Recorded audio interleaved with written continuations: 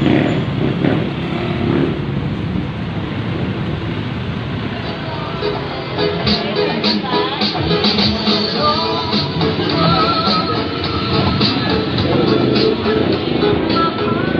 pa-video lang ha.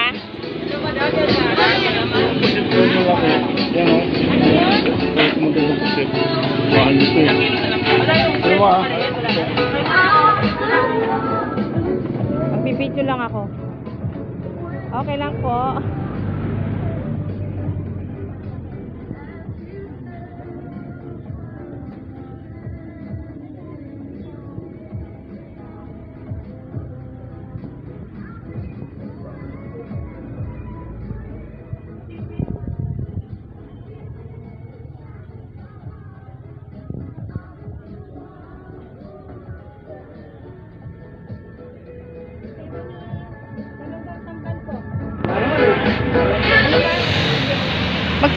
Kilo ng chicken feet nyo?